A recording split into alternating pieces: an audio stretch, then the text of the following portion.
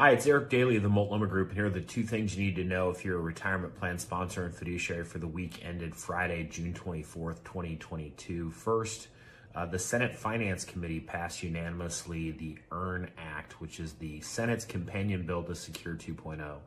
Uh, that continues to look likely for passage and reconciliation toward the end of this year.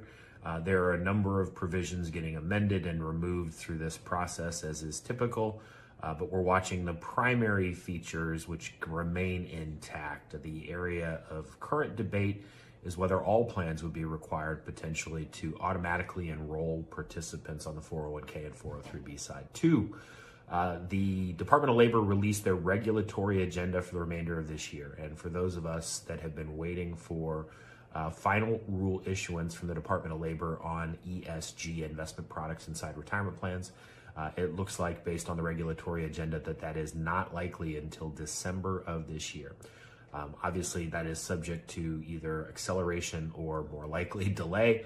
Uh, but at this point, December of 22 could be very, very busy with potentially the Reconciled Secure 2.0 Act and uh, the implementation of a new ESG rule for retirement plans.